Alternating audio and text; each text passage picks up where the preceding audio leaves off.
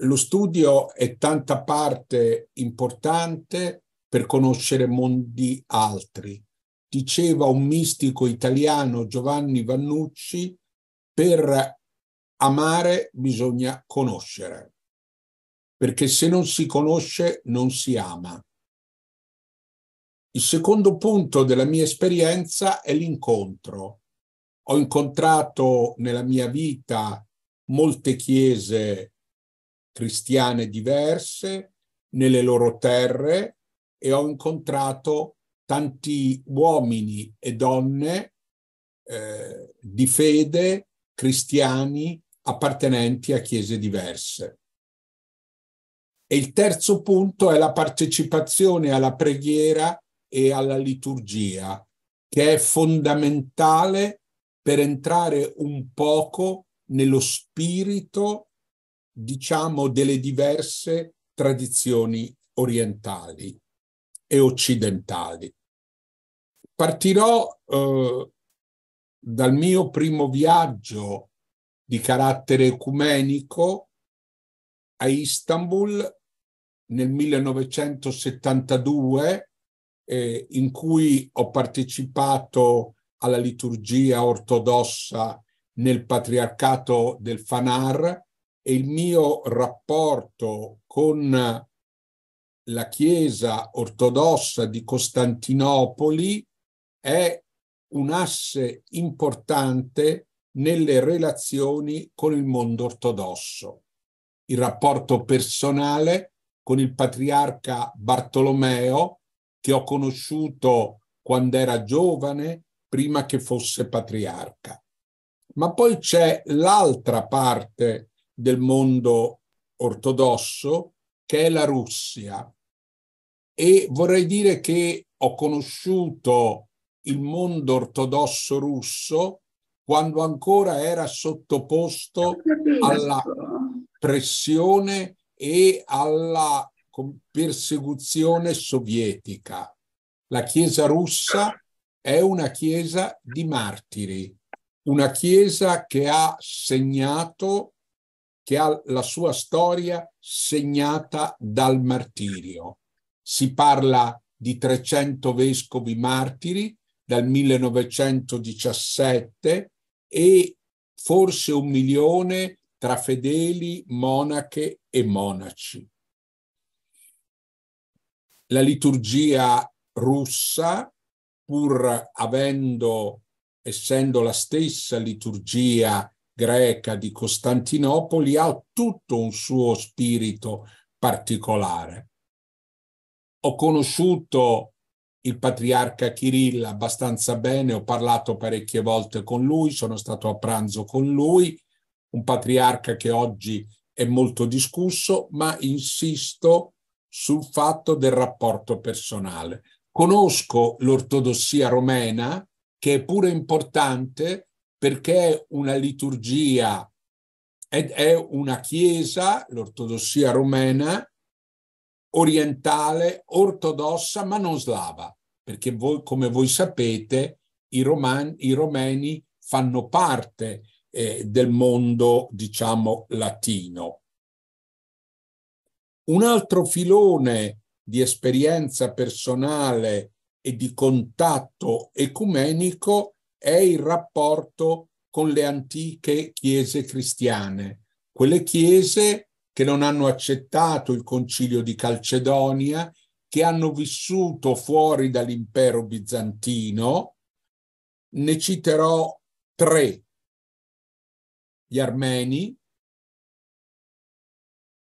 e la Chiesa armena è una Chiesa di martiri perché nel 1915 ha vissuto il primo genocidio del Novecento. Sugli armeni e su questo genocidio ho scritto anche un libro che si chiama La strage dei cristiani, pubblicato dal Mulino gli armeni anche nella musica della liturgia portano il segno di questo grande dolore. I siriaci, una chiesa povera che anch'essa ha subito la persecuzione dei turchi del 1915 e poi ho conosciuto la grande chiesa etiopica, una chiesa sofferente, molto sofferente, eh, nel regime comunista di Mengistu, ma una chiesa molto importante perché il frutto di un'antichissima evangelizzazione dell'Africa.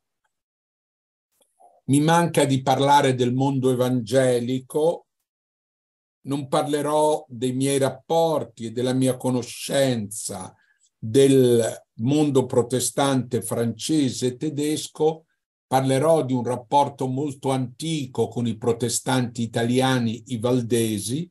Il pastore Valdovinai ha sempre predicato a Sant'Egidio per anni, alla preghiera che la comunità di Sant'Egidio fa ogni giorno, prima nella chiesa di Sant'Egidio, poi nella chiesa di Santa Maria in Trastevere. Di fronte a questo quadro vi ho detto qual è stata la mia biografia e la mia conoscenza di questo mondo attraverso l'inverno, attraverso la mia esistenza, un'esistenza di impegno ecumenico che è cominciata eh, prima dell'inizio degli anni 70 e che continua ancora oggi perché io credo che non si può essere cristiani senza essere ecumenici. Non bisogna essere mai senza l'altro.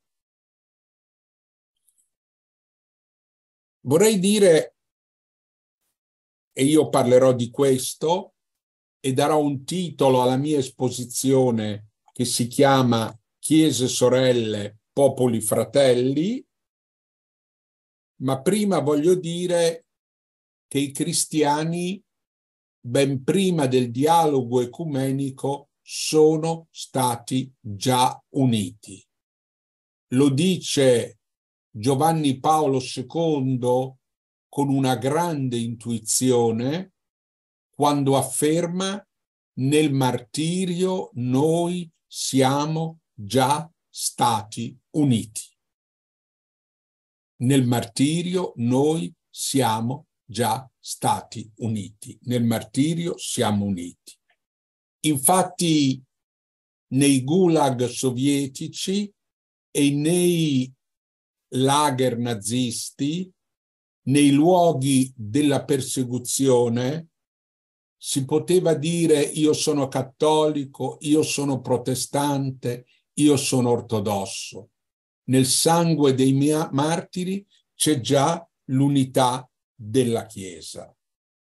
Io ho studiato prima del 2000 il tema dei nuovi martiri e ho pubblicato questo libro, Il secolo del martirio, proprio perché il Novecento è stato il secolo del martirio, ma il martirio ha una valenza ecumenica. E noi a San Bartolomeo all'Isola, che è una basilica eh, sull'isola Tiberina, l'isola nel fiume Tevere, noi abbiamo dedicato questa chiesa di antica memoria apostolica l'abbiamo dedicata ai nuovi martiri, cattolici, ortodossi e protestanti. E ci sono reliquie, resti, segni di tanti martiri che vengono depositati in questa chiesa. Eh, dal messale o dalla casula di Monsignor Romero ai martiri russi, ai martiri armeni e sotto questa chiesa, in un antico sotterraneo, è proprio aperto un museo che riguarda i nuovi martiri. I nuovi martiri sono profeti dell'unità della Chiesa. Chiese sorelle e popoli fratelli. Le chiese lo sapete meglio di me, si sono a lungo scomunicate. Noi abbiamo avuto chiese nemiche e popoli nemici. Ma questa espressione chiese sorelle chiese, e popoli fratelli è del patriarca ortodosso ecumenico di Costantinopoli, patriarca dal 1948 al 1972 ed è in un libro di dialogo con Olivier Clément, teologo ortodosso, un libro pubblicato in Italia dalla San Paolo con il titolo Umanesimo spirituale.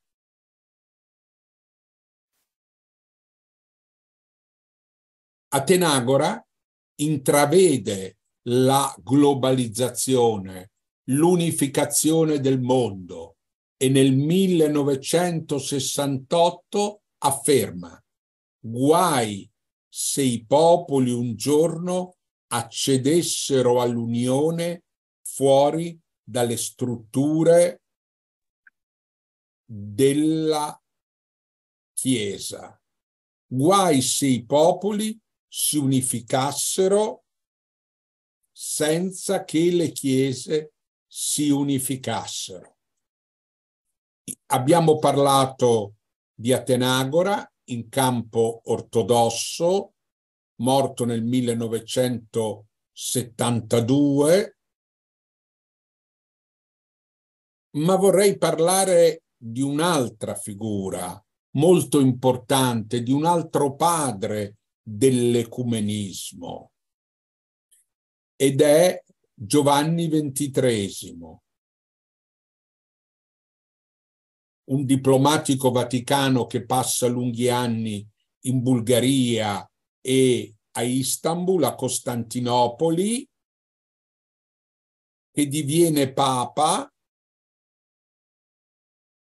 e che indice il Concilio Vaticano II concependolo anche come un evento ecumenico.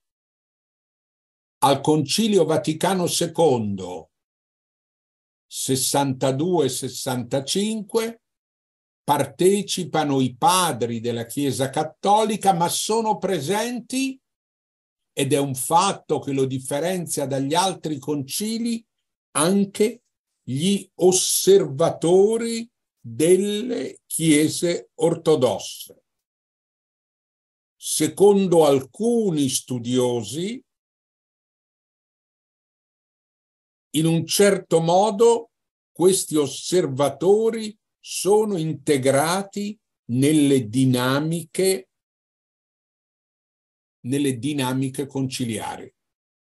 Uno di essi, l'ho conosciuto molto bene, è il vescovo Zacca Iwas della Chiesa siriaca, poi divenuto patriarca. Ma vorrei dire, il concilio ha una valenza ecumenica e pacifica perché è la prima assemblea pan-europea che supera i confini della guerra fredda. e come voi sapete il concilio viene indetto da Giovanni XXIII e nel suo discorso parla di ricerca dell'unità. Il documento conciliare Unitatis Redintegratio sull'unità dei cristiani mostra l'ampiezza del compito ecumenico. Questo compito ecumenico, care sorelle, non riguarda solo gli specialisti. Purtroppo negli anni l'ecumenismo si è ridotto a un affare di specialisti. Non è giusto, si è ridotto a teologi, si è ridotto all'ufficio ecumenico delle diocesi o al dicastero vaticano che si incarica di questo tema. L'unitatis redintegratio stabilisce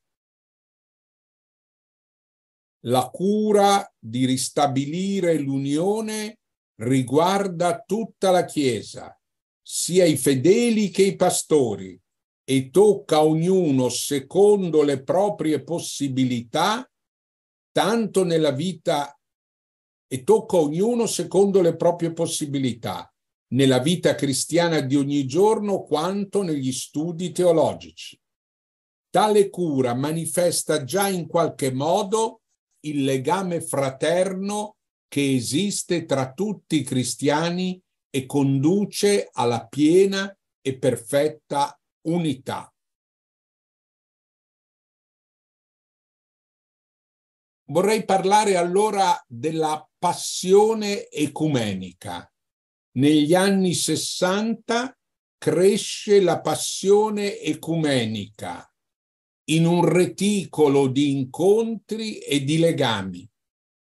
Vi parlo vicino alla Basilica di Santa Maria in Trastevere, ricordo la passione e l'entusiasmo per la visita del patriarca di Costantinopoli. Cioè, quando Paolo VI nel 64 va a Gerusalemme incontra Atenagora, al ritorno a Roma resta stupito dall'entusiasmo della gente. La visita di Atenagora a Roma nel 68 è un fatto molto importante, come l'incontro a Gerusalemme tra Paolo VI e Atenagora. Cioè l'ecumenismo esce dai circuiti ecclesiastici e diventa un segno di unità dei cristiani, dei cristiani e del genere umano. Unità dei cristiani e del genere umano. Gli anni 60 e 70 sono percorsi da quelle tensioni unitive che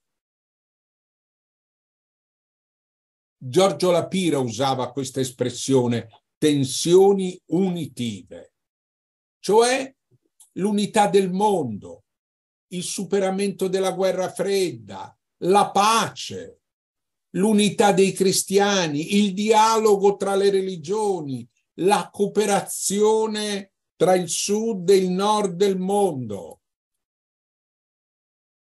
l'unità del genere umano sono quelle tensioni che oggi sono in crisi. Oggi sono in crisi perché oggi siamo in un periodo di divisioni in cui si marcano le differenze, si contrappongono le differenze degli uni contro gli altri. Atenagora sognava di giungere, come diceva lui, al calice comune, cioè alla comune celebrazione eucaristica.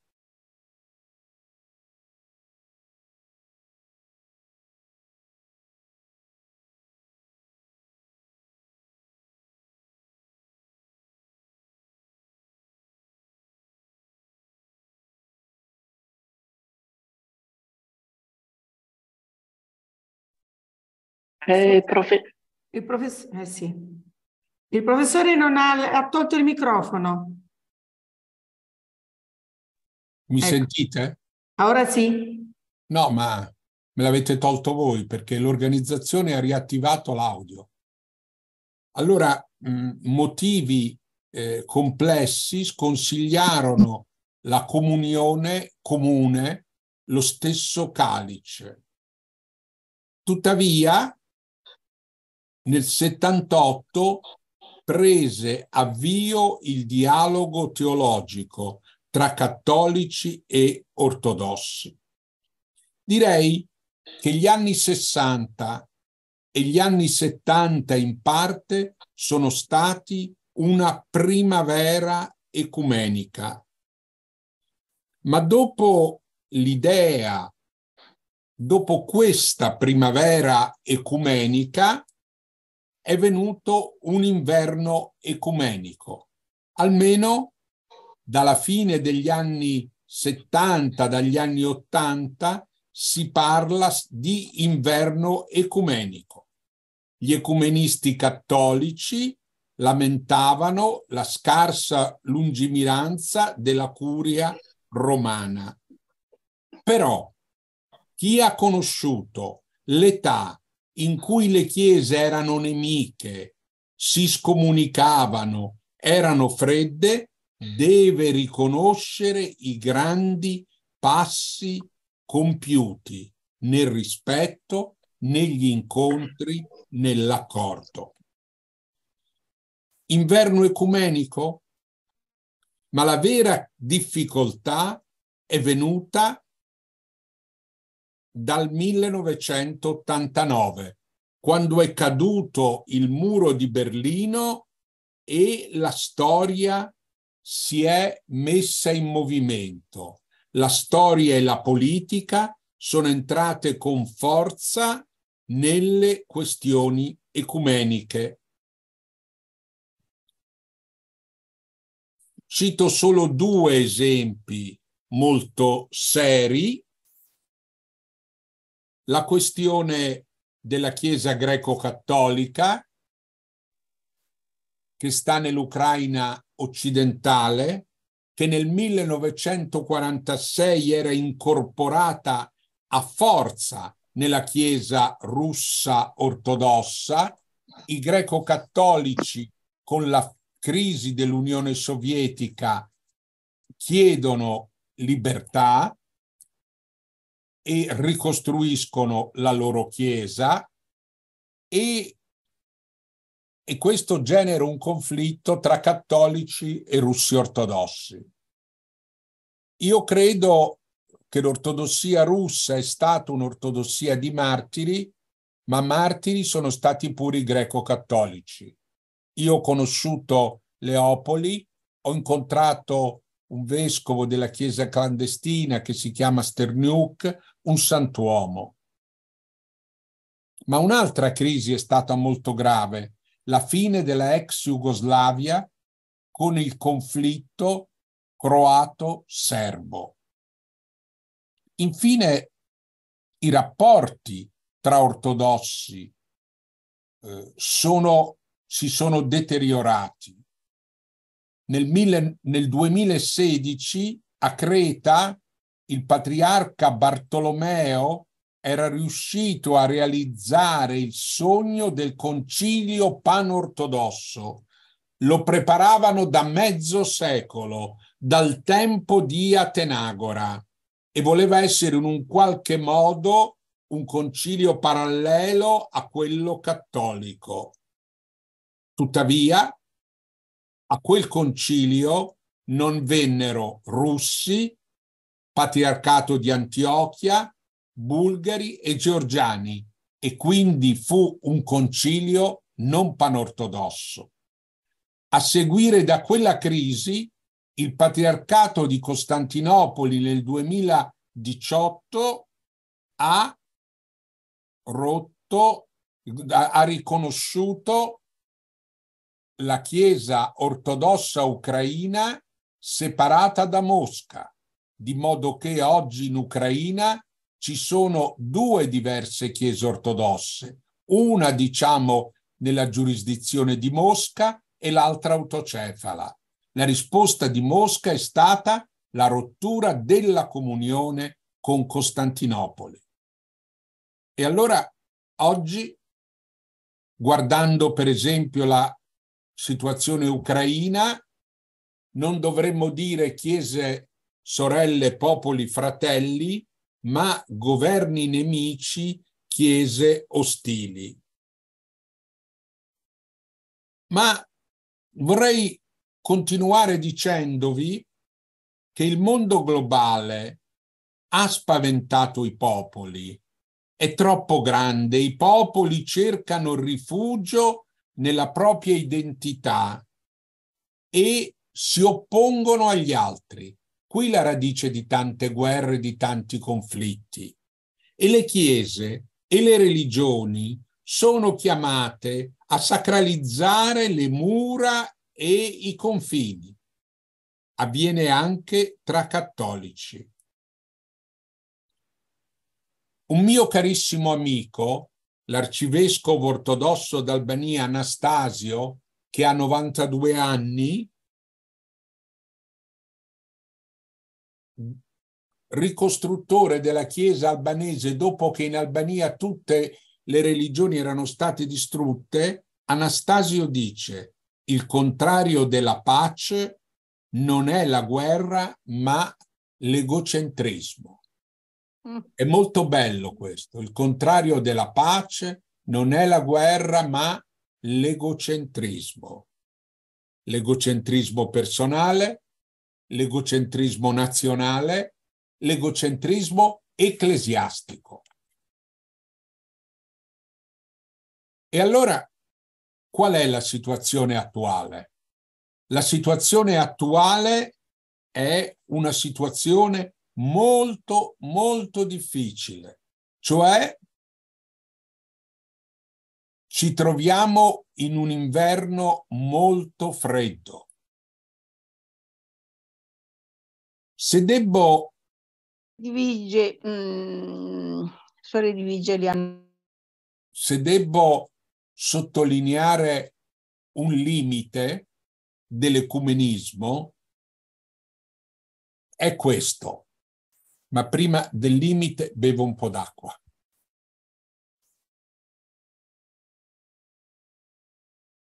Se devo sottolineare, care sorelle, un limite dell'ecumenismo, ve lo dico subito, ma questo è un parere mio personale.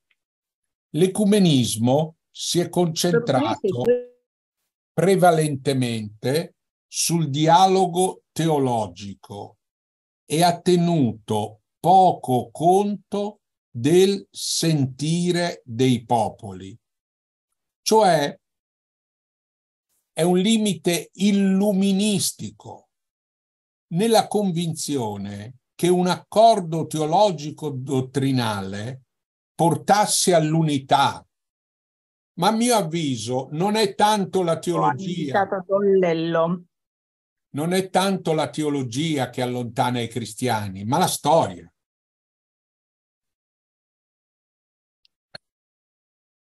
Il grande saggio patriarca Atenagora diceva il dialogo teologico deve nascere naturalmente all'interno del dialogo di amore, all'interno del mistero della Chiesa. Lungo il nostro lavoro dovremmo abbandonarci insieme allo Spirito Santo domandando l'intercessione dei nostri santi, dei nostri padri e dei martiri comuni. Più ci si allontana dal concilio, più il metodo dell'incontro diventa piuttosto diplomatico, diventa piuttosto un negoziato, assume l'aspetto dei metodi delle organizzazioni internazionali. L'ecumenismo non si gioca solo tra chiese, ma tre, tra cristiani appartenenti a mondi e a civiltà differenti, cioè i conflitti tra civiltà e popoli coinvolgono anche le chiese. La memoria e il pregiudizio spesso si tramandano di generazione in generazione. La storia del XX secolo non è stata ecumenica, cioè la storia globale non è stata ecumenica. anche se abbiamo compiuto grandi passi in avanti, nessuno si scomunica più, ma non è stata una storia ecumenica. Il nostro non è un presente pacifico, ma proietta antichi muri, vecchie passioni, nazionalistiche. Il mondo è connesso, ma le chiese non sono unite. Io credo che l'ecumenismo non è uno spirito cosmopolita, non è una moda, non è la passione di alcuni specialisti, ma l'unità dei cristiani è un comandamento centrale del Signore Gesù, che siate una cosa sola perché il mondo creda. E allora io vorrei chiedervi, sorelle, perché noi osserviamo tanti comandamenti, ma non osserviamo questo comandamento dell'unità? Viene da pensare alle parole di Gesù che dice Guai a voi, scribi o farisei ipocriti, che pagate la decima della menta, dell'aneto e del comino e trasgredite le prescrizioni più gravi della legge, la giustizia, la misericordia, la fedeltà. Io credo che noi trasgrediamo il comandamento dell'unità, ma siamo differenti, ma dobbiamo vivere la differenza nell'unità. E unità è amore, preghiera comune, liturgia insieme. Come guarire allora questo spirito di divisione? Io credo che la guarigione delle divisioni si fa cominciando subito, fin da ora, a camminare nella direzione dell'unità. Accadde nel Vangelo al funzionario reale che pregava per suo figlio malato. Gesù gli disse, va, tuo figlio vive. Quell'uomo credette alla parola che gli aveva detto Gesù e si mise in cammino. Bisogna camminare insieme sulla parola del Signore.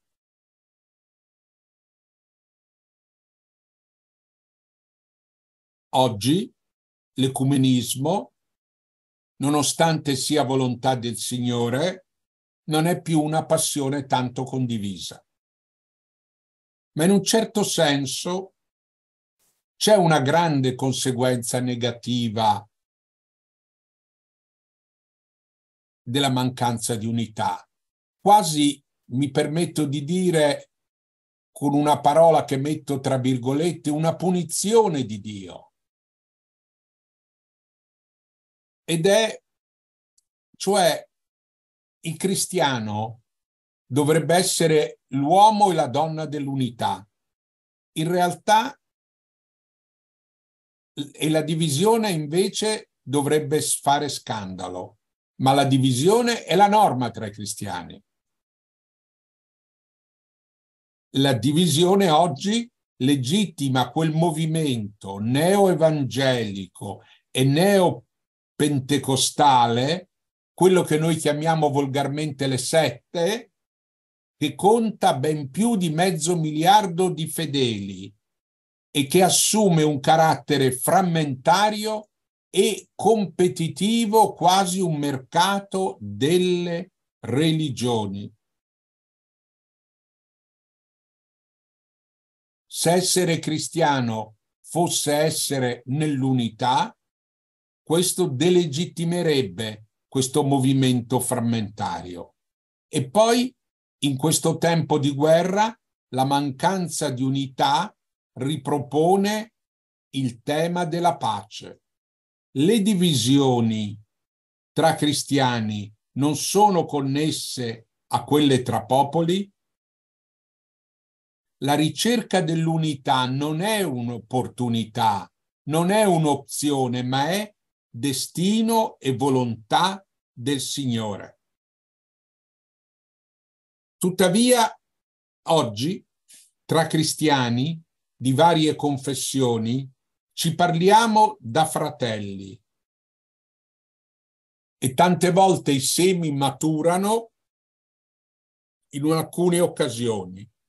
Ricordo il grande incontro interreligioso di preghiera della pace di Assisi voluto da Giovanni Paolo II nel 1986.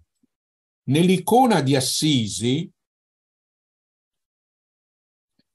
ci sono intuizioni semplici ma basilari, tre grandi idee che sono le idee del concilio, il dialogo interreligioso, il dialogo ecumenico e la pace. Pace, dialogo interreligioso, dialogo ecumenico. Nel vedere il Papa, i patriarchi ortodossi, i pastori protestanti, i rabbini, i leader musulmani, buddisti, induisti, mi ricordo che una donna durante quella preghiera, vedendoli, mi disse quante poche differenze ci sono tra i cristiani. Quante poche differenze ci sono tra i cristiani. È come in Medio Oriente, dove i cristiani sono poveri di fronte all'Islam maggioritario, quanto poco li divide. La comunità di Sant'Egidio ha voluto camminare anno dopo anno nello spirito di Assisi, convocando i leader religiosi per pregare uno accanto all'altro. Un incontro a Bucarest, in Romania, paese ortodosso, fu molto importante per il disgelo tra gli ortodossi e i greco-cattolici e aprì la strada alla visita di Giovanni Paolo II. Il popolo ha una sua funzione. Io ricordo durante la preghiera di Bucarest il popolo ortodosso che parlava di unità, che gridava l'unità. Il popolo può essere attore dei riavvicinamenti, ma anche degli allontanamenti. Diceva il patriarca ortodosso, i teologi hanno la loro, il patriarca Atenagora, i teologi hanno la loro parola da dire, ma il popolo ha la sua. Nell'istinto del popolo di Dio c'è qualcosa di giusto. Quando nel 1999 Voitila andò in Voitila andò eh, a Bucarest, dopo la celebrazione della liturgia ortodossa a cui Voitila assistette, il popolo gridava unitate, unitate, unitate, che vuol dire unità. Io credo che il mondo globale ci fa sentire con maggiore sofferenza la divisione tra i cristiani. E non posso dimenticare, in un tempo di fratture, un momento altissimo che purtroppo è passato, diciamo, in silenzio, ma che è stata la preghiera a Bari nel 2018 indetta da Papa Francesco che ha raccolto i primati cristiani per il Medio Oriente. E ho avuto un ruolo nella ideazione, nell'idea di Bari e ricordo la passione di Papa Francesco nell'incontrare i primati e soprattutto ricordo una discussione fra di loro intorno a un tavolo nella Basilica di San Nicola. Era un evento da primo millennio cristiano, un grande segno di speranza che avrebbe dovuto essere ripreso. Sì, e care sorelle, mi avvio alla conclusione. Io credo che in questo mondo diviso, parliamo del 2018, quindi di cinque anni fa, del luglio 2018, io credo che in questo mondo diviso i cristiani debbano essere più uniti. Io credo che in questo mondo diviso i cristiani debbano essere più uniti. Ignazio di Antiochia dice quando i cristiani si riuniscono insieme e pregano, crollano i disegni di Satana. Io credo che le chiese debbano essere sorelle come segno perché i popoli siano fratelli e debbono creare un clima, una civiltà dell'unità e dell'amore, una civiltà del vivere insieme, un'espressione che io uso frequente, ma anche una civiltà ecumenica, come dice il patriarca Bartolomeo. Ma noi cosa possiamo fare? Questa è l'ultima domanda che io vi pongo. Cosa possiamo fare per l'unità dei cristiani? Cosa possiamo fare per la pace? Perché anche della pace voglio parlare un piccolo momento perché noi viviamo un periodo terribile.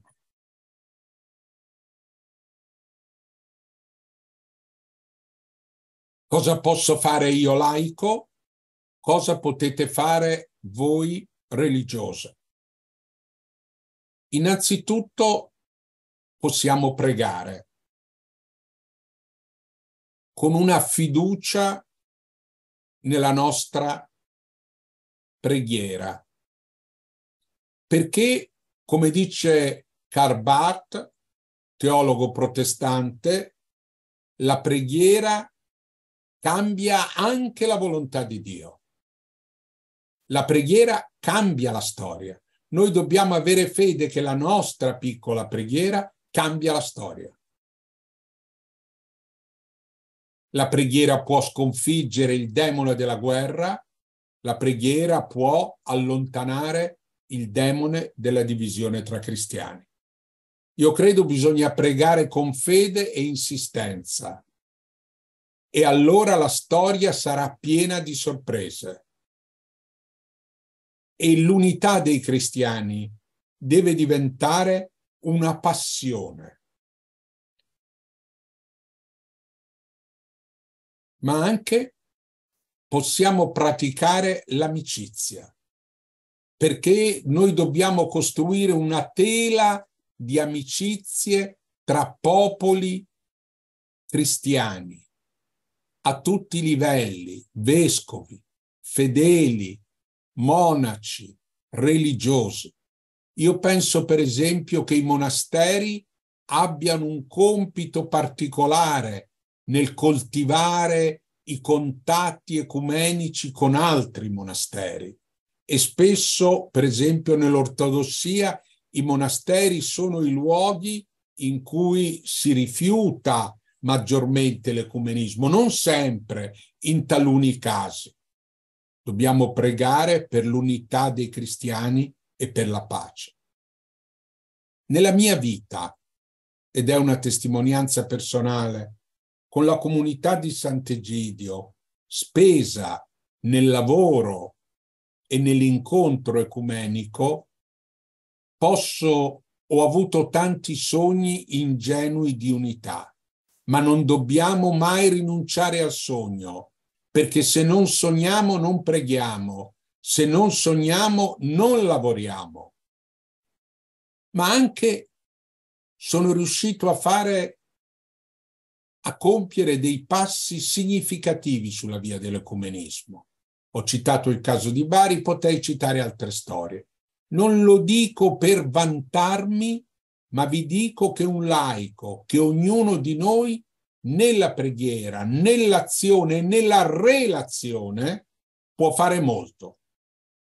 E quando parlo di comunità religiose, di monasteri, parlo anche di relazione con esperienze religiose lontane. Preghiera, relazione e azione. Siamo d'inverno, ma accendiamo il fuoco. Accendiamo i fuochi che riscaldino e disgelino i nostri rapporti in un mondo oggi troppo diviso. Grazie della vostra attenzione. Grazie professor Andrea, mm, è stato chiarissimo e molto incisivo, la ringrazio tantissimo. E, um, mi pare molto fecondo, molto interessante l'appello che ha fatto a noi religiose, soprattutto ai monasteri, alle contemplative. E anche credo che sia una prospettiva di grande fecondità quello di avere intrecciato il tema dell'unità con quello della pace. Per cui eh, eh l'ecumenismo si può dire è la via della pace. Perfetto, sorella. Lei in poche parole ha detto tutto quello che ho detto io. Beh, no, ma mi piace molto questo perché appunto era un po' una nostra eh, esigenza sentire no, di fronte agli scenari di guerra e di divisione che abbiamo sotto gli occhi e che ci fanno tanto preoccupare, tanto soffrire, allora eh, il discorso della pace eh, che va diciamo in perfetta eh, intreccio, in, si incastra con quello ecumenico, con quello dell'unità, eh, questo credo che eh, ci fa riflettere è un tempo, lei diceva, di inverno molto freddo, ma questo per noi deve essere un tempo di scelte. E allora sì, io... Dica. Il tempo, c'è una chiamata del tempo. Ecco. La vocazione non è tanto qualcosa che ci parla dentro, ma la vocazione è una chiamata dal di fuori, le ministre degli infermi di San Camillo nascono dall'intuizione di San Camillo che vide i malati. Oggi noi vediamo l'inverno e accendiamo i fuochi. Questa è la vocazione. La vocazione viene dalla storia. Potrebbe, professore, sollecitare qualche spinta, qualche stimolo per le sorelle contemplative che magari in contesti piuttosto diciamo così, eh, non dico chiusi, ma circoscritti anche eh, da, dall'ambiente, dal luogo. Il monastero è un luogo, mh, mm, diciamo, eh, circondato da un muro, no? cioè quindi un po' ehm, potrebbe sollecitare di più questo fuoco ecumenico nell'ambiente delle sorelle contemplative. Ma forse prima vorrei sentire una sorella contemplativa.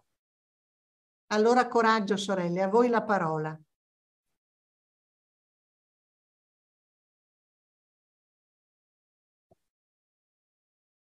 Una, su.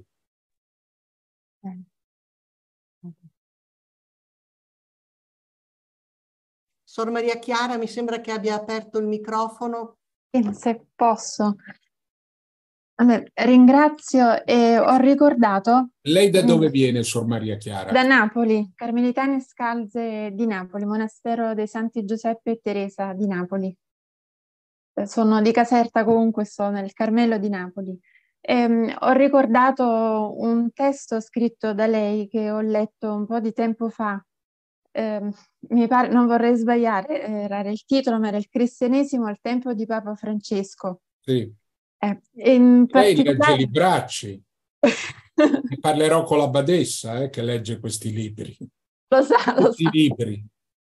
Poi più sono gli bracci più mi attirano. Ma non lo dica che qui se no ci sono le sorelle che si scandalizzano. No, ma non fa niente, il Signore mi difende. mi Va aiuta. bene. Dunque, in particolare due punti mi ha mm, richiamato, uno sottolineato da lei in quel libro e un altro dal cardinale Casper. e sono legati, comunque sono uniti. Praticamente a un certo punto il cardinale Casper dice che eh, la concezione ecumenica affonda le sue radici nella concezione evangelica, ovvero Papa Francesco al numero 117 dell'Evangeli Gaudium richiama San Tommaso e sottolinea che il Vangelo, più che un insieme di leggi scritte, quindi di verità, come ha detto lei prima, no? di verità teologiche, verità dottrinali da comunicare, che comunque aiutano perché aprono alla verità e fanno prevedere le conseguenze pratiche anche di certe, certa accoglienza di verità, è lo Spirito Santo stesso.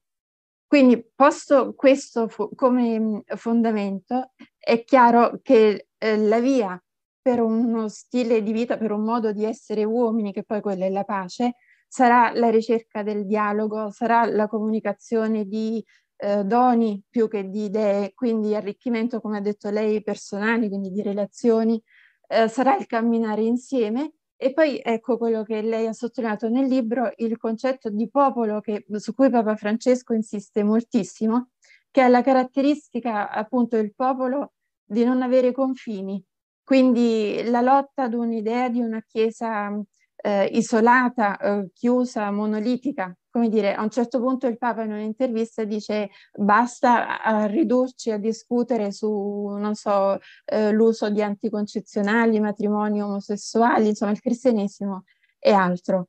Eh, ecco perché l'ecumenismo unito alla pace, perché l'unica soluzione per superare l'egoismo, l'individualismo, e come lei prima ha detto, ehm, la differenza proprio tra l'individuo e la persona è questo, l'esistenza dell'altro, è quella suggerita da Gesù, dal Vangelo e dallo Spirito Santo. Questa è una sottolineatura ecco, che mi ha, grazie, mi ha colpito molto. Chiara, nonostante lei. lei. sia di Caserta, perché nessuno è perfetto, C'è ha detto cose molto, ha detto, cose molto, ha detto cose molto giuste, sì, però quella ferrovia davanti alla reggia non la dovevate fare e ha detto cose molto giuste e ha posto, lei ha parlato di ambienti isolati, no?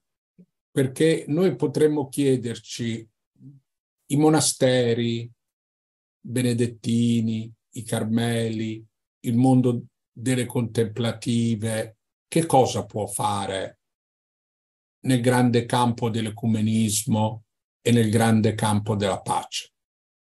Questa è una domanda importante perché le monache si sono ritirate dalla storia?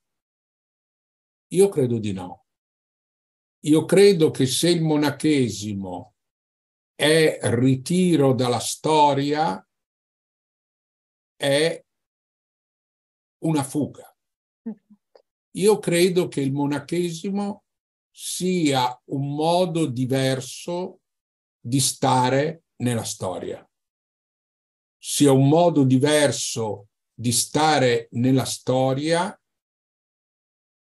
attraverso la preghiera, ma anche attraverso un certo tipo di relazione, un certo tipo di relazione. Nei nostri vecchi paesi, penso a una cittadina umbra da cui originaria la mia famiglia, si diceva che se tu vuoi sapere bene tutto quello che è successo nel paese, devi andare nel monastero di clausura. Lì ti diranno tutto quello che è successo nel paese meglio dei carabinieri. Ora c'è una verità, c'è una verità, perché il silenzio favorisce l'ascolto la preghiera, la relazione. Allora, a mio modo di vedere, ci sono due cose importanti. Ogni monastero dovrebbe pensare a avere delle relazioni ecumeniche, magari con monasteri di altre chiese o con personalità di altre chiese, e anche per far capire il valore della vita contemplativa. Le relazioni personali sono tutto. Le relazioni personali costruiscono un mondo unito. L'altro è la preghiera. Giorgio Lapira, il grande sindaco di Firenze, scriveva una lettera a tutte le badesse, la lettera alle claustrali, in cui invitava tutti i monasteri a pregare anche per lui nei momenti, nei passi più coraggiosi e rischiosi della sua vita. Ah, penso, non so se posso o se non mi fermo. Eh, presiede lì la madre, non io. Eh. Posso? Sì, sì. Un minuto, sono breve, lascio spazio. Voglio dire, eh, riallacciandomi a quello che ha detto, secondo me è un concetto sbagliato di contemplazione che sia molto poco cristiano. Eh, cioè molto più vicino al neoplatonismo, quindi alla separazione, ehm, alla fuga dal mondo. Mm, se fosse una contemplazione davvero cristiana, quindi ispirata proprio al mistero dell'incarnazione, della Trinità, cambierebbe molto, anche perché se il contemplativo è l'intimo di Dio, diciamo, quello che dovrebbe vivere eh, la vita di Dio più in profondità, cioè Dio è per sua natura diffusivo, ama l'uomo, è aperto e abita la storia, dovrebbe essere certo. una conseguenza naturale, voglio dire, certo. normale. Il suo discorso sul neoplatonismo e la concezione del contemplative ci porta a un vecchio atteggiamento della Chiesa, quando per esempio le contemplative pregavano l'ufficio in latino senza conoscere il latino e quando venivano i prelati a visitarvi e dicevano oh anime fortunate, beate voi che potete stare in grande tranquillità, mangiavano e andavano via. Allora perché non restavano? Cioè, invece oggi abbiamo una visione ecclesiale della vita contemplativa. Grazie, Suor Maria Chiara. Grazie Tutti a lei. Grazie altre domande, altre anche diciamo così mm, feedback di fronte alla proposta così ricca che il professore ci ha fatto. C'è Suor Cristiana. Cristiana. No, Cristiana non si sente. Apri, Cristiana, apri il microfono. Esatto. Adesso ci siamo. Ecco. Me l'avevano disattivato, eh? allora, è stato? Eh, mentre il professore parlava, io riandavo alle nostre origini di monachesimo e eh, mi riferivo soprattutto al padre di noi monaci, monaci e poi anche monache, Antonio, Antonio l'eremita. E mi riferisco alla vita che ne ha scritto Atanasio. Se noi andiamo alla vita di Antonio, vediamo come Antonio non ha fatto uno furomundi, ma si è inoltrato nel deserto per ascoltare la parola e vivere in un tempo di martirio pari al nostro, direi. E Antonio aveva dentro di sé un grande desiderio di essere martire. Eh, il Signore non gliel'ha, non gliel'ha concesso, però ha dato a noi una, un'indicazione profonda, quella eh, della vita monastica come il martirio della coscienza, la testimonianza della fede. Quindi a me pare che se noi monache ci collochiamo su questa linea, avendo dinanzi quella che è l'unità della Chiesa e questa necessità, rispondiamo con la nostra chiamata quotidiana a quello che è un impulso che poi voi dovete concretare nelle relazioni, e, mentre noi ci collochiamo sotto e siamo un po' un polmone che vi d'aria, pulsiamo.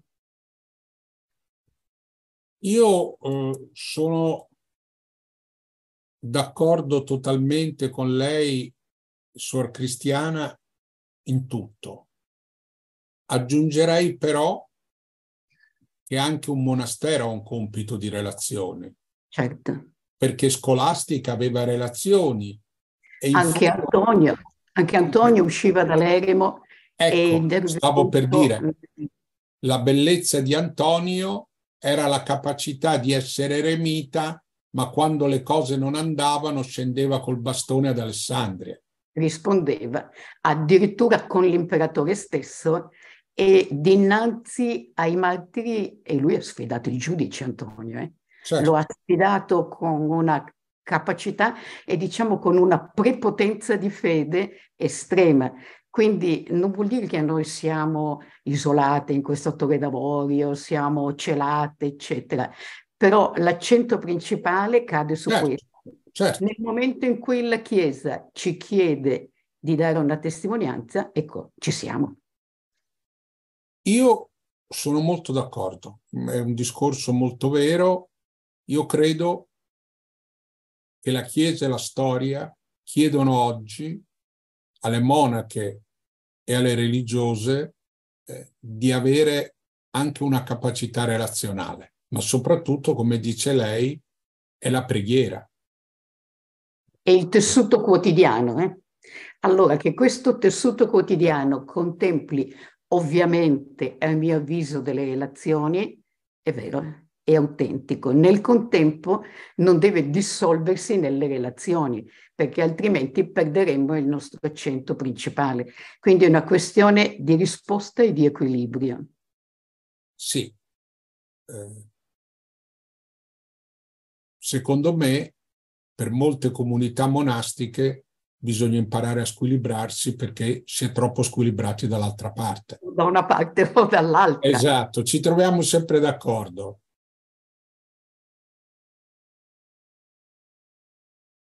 Bene, mi sembra che... La... Solo le monache parlano qui, eh? No, Solo le abitatrici del silenzio parlano. Le altre? Sentiamo anche qualche altra suora.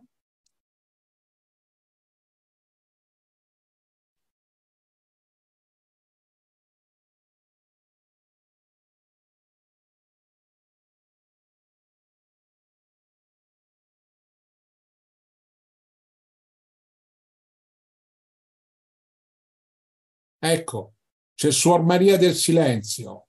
Benissimo. Santa Maria del Silenzio. Qui sempre si... Buongiorno. Chi allora, siete? innanzitutto, allora, siamo suore e figlie della Chiesa e proprio la ringrazio innanzitutto per il bellissimo apporto che ha dato e gli spunti. E volevo proprio eh, sottolineare l'aspetto della relazione, quanto sia importante, eh, facendo eh, riferimento a un'esperienza che ormai portiamo avanti da, da anni noi proprio in questa incontrare l'altro di una confessione diversa produce veramente frutti. Noi l'abbiamo, stiamo sperimentando con la Lezio. Il sabato noi invitiamo almeno tre volte all'anno il pastore valdese Paolo Ricca ed è un'esperienza bellissima, proprio che non è più soltanto eh, un incontro sulla parola solamente, ma diventa veramente amicizia, amicizia condivisa. E quindi penso che è vero che l'unico apporto che oggi possiamo dare, certamente la preghiera,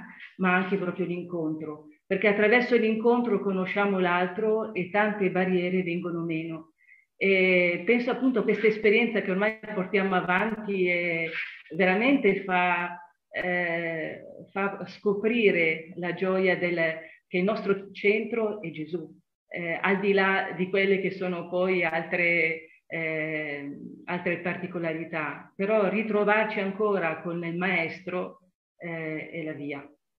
Eh, la grazie. Ringrazio, la ringrazio molto perché credo che queste relazioni e queste interazioni siano molto importanti.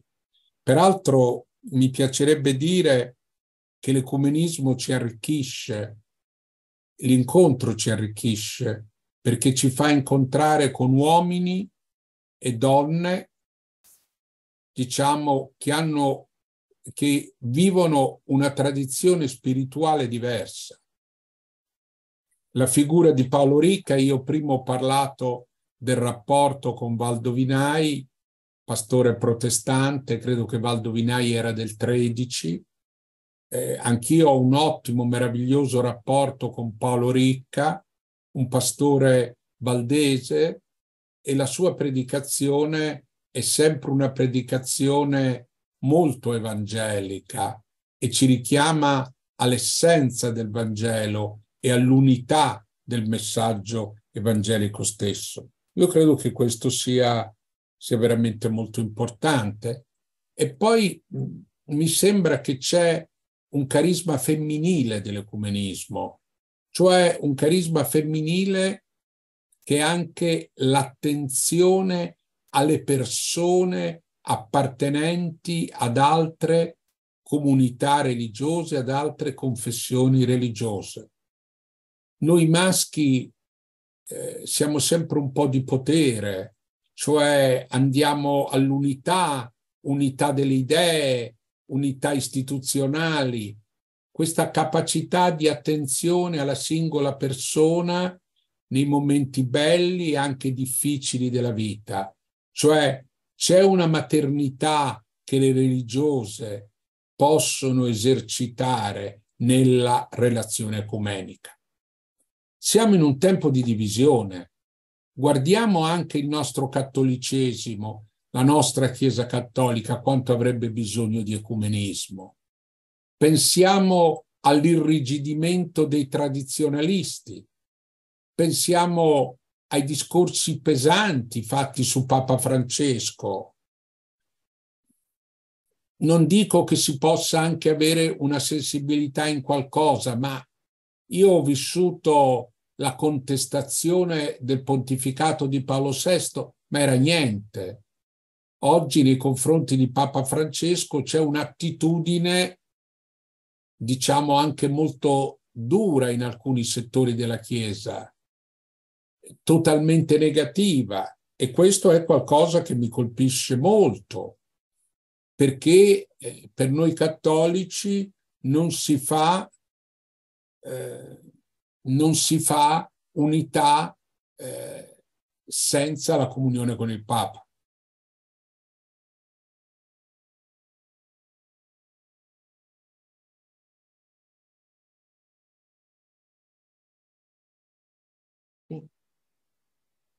Con Fernanda.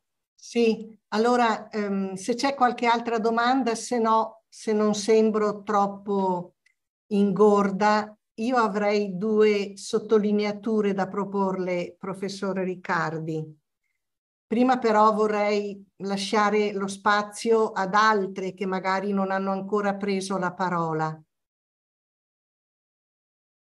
C'è qualcuna che vuole intervenire? Allora intanto mi faccio avanti ancora io. La prima osservazione, ascoltando quello che lei, che mi ha impressionato tantissimo, no?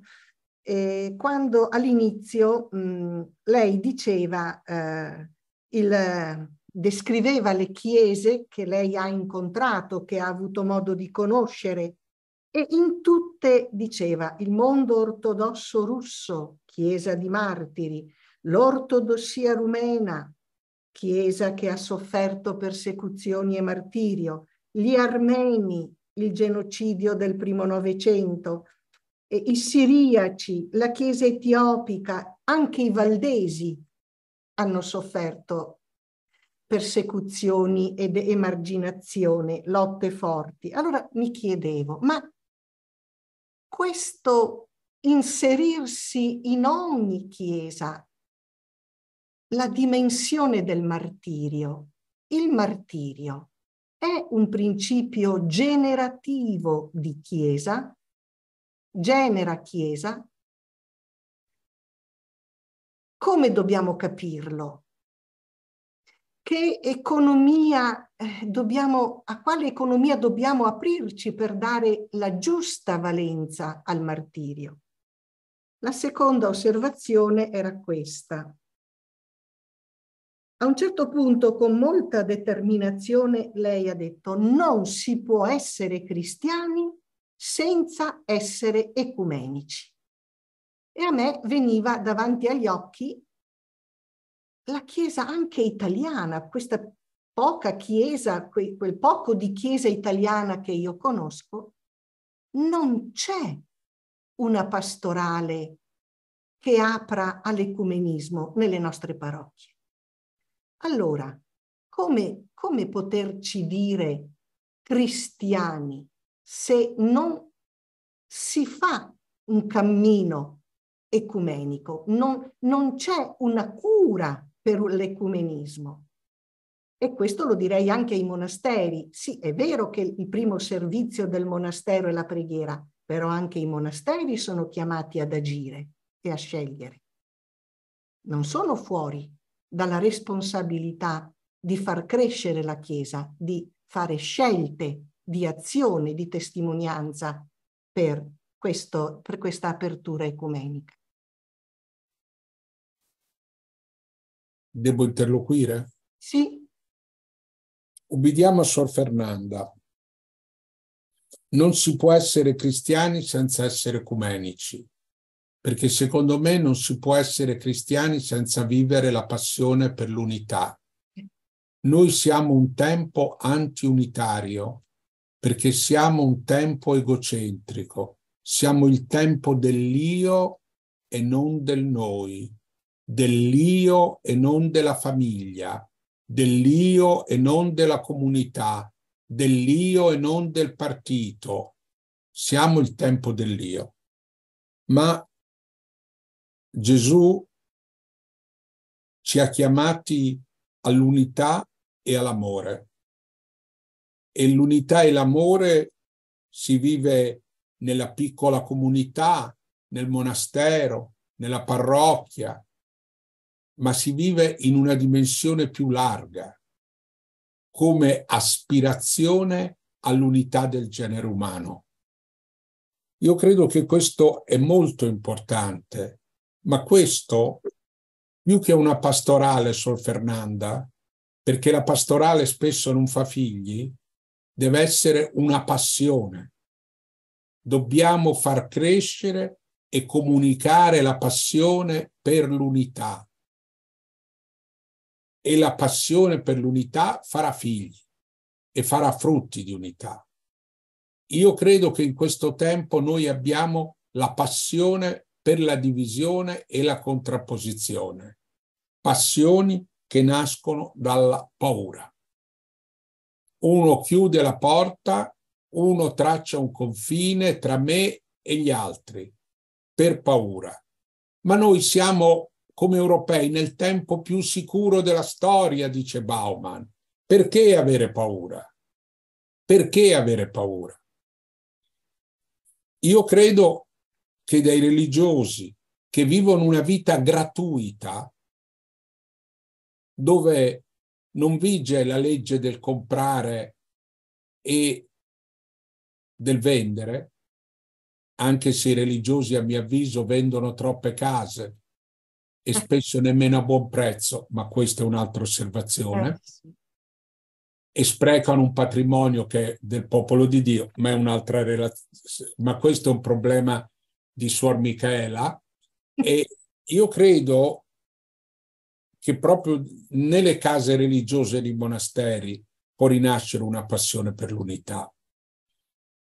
L'altro discorso, beh, lei mi fa una domanda a cui la risposta è facilissima il martirio è un principio generativo della Chiesa? Beh, lei lo sa, il seme, il sangue dei martiri è seme dei cristiani. È una risposta facile, ma non è così facile, perché nessun martire ha desiderato essere martire.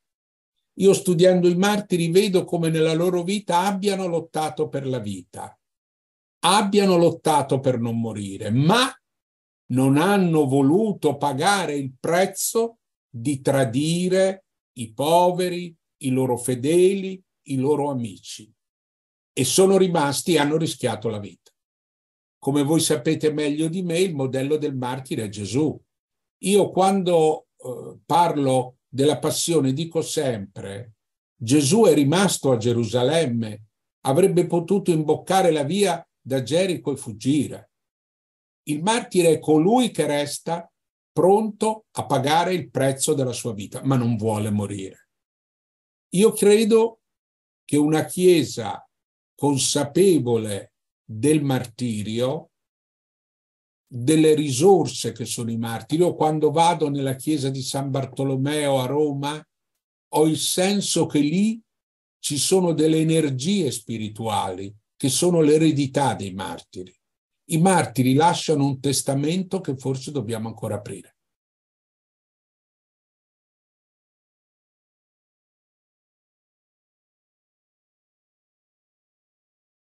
Io avrei tante altre domande, ma non voglio essere quella che occupa lo spazio. Tra l'altro, professore, le devo fare le congratulazioni per la costruzione lì sotto dove ci sono le reliquie dei martiri. È stata?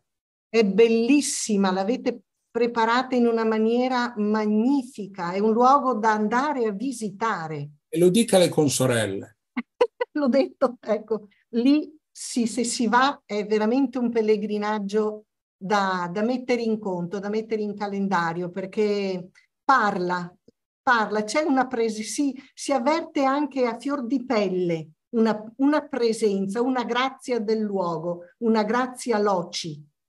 Sì, sì, è quello che io dicevo. Io eh, durante, diciamo, il giovedì santo e venerdì santo ero lì, ho sentito veramente una grazia loci, come ha detto lei, delle risorse, delle energie, Bene. Sorelle, qualche altra domanda prima che il tempo scada? Posso? Posso? Opla. Ah, prego, Posso? Prego.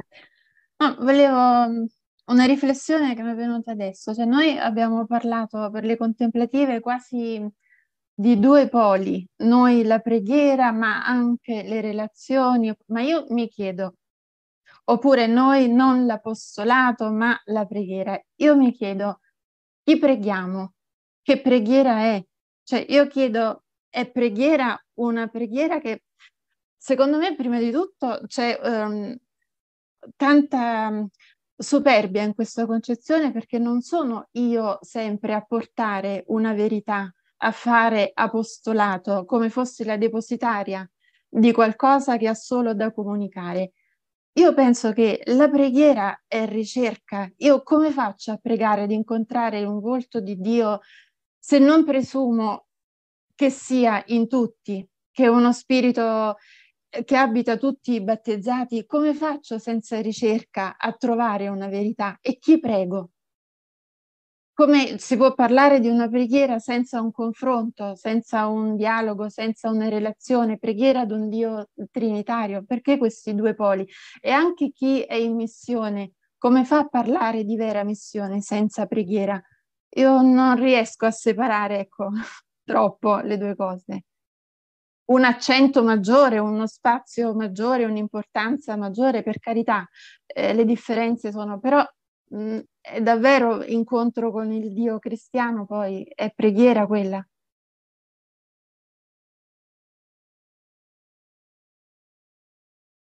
Devo dire qualcosa, forse sì, c'è sì. un'altra. Sì, sì, sì, professore, dica. No, no, io sono convinto che i monasteri si collochino nel grande tessuto della Chiesa è comunione e preghiera. E allora c'è la necessità di una comunione e credo che dai monasteri come luogo di gratuità può sorgere uno slancio alla passione ecumenica che è fatta anche di relazioni oltre che di preghiera. Cioè tutto questo è un intreccio, è un intreccio molto importante che arricchisce il nostro cristianesimo.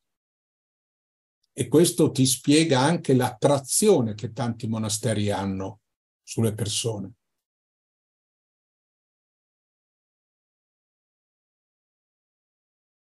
C'è qualcun'altra?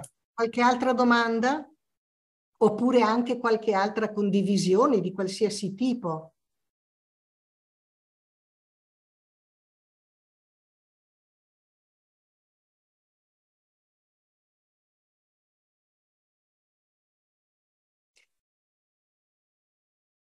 Madre Micaela, Madre Micaela, prenda. Sì, eh, sì, io intanto ringrazio, ma non, cioè sono rimasta molto colpita sul termine, dal termine inverno, inverno ecumenico, inverno, eh, sì, inverno come questa eh, esperienza raggelante, no? che eh, come giustamente ha detto lei, professore, ha bisogno di accendere fuochi e, e, i fuochi si accendono solo con la passione. Mi è, mi è sembrato molto, molto importante mm, quella passione che eh, passa attraverso anzitutto l'esperienza, la relazione che si nutre di conoscenza e si nutre anche di intimità, penso alla preghiera come spazio di intimità, no?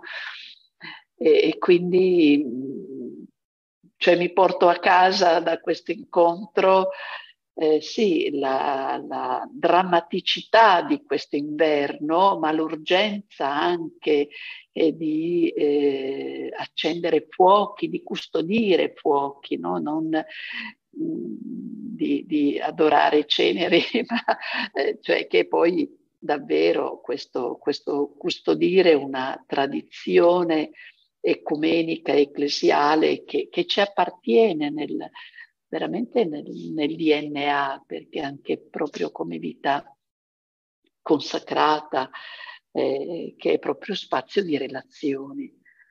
E, e la ringrazio perché sento, sento, sulla mia pelle questo, questo freddo, ma nello stesso tempo anche nel cuore questo fuoco che eh, dobbiamo tenere vivo e, e favorire che si trasmetta, perché eh, questo è eh, l'esperienza no? di, di, una chiesa, eh, di chiese sorelle, di chiese che, che testimoniano davvero la, la, sorgente trinitaria della nostra vita. Eh, la, la, ringrazio davvero, ho, ho, goduto di questo incontro.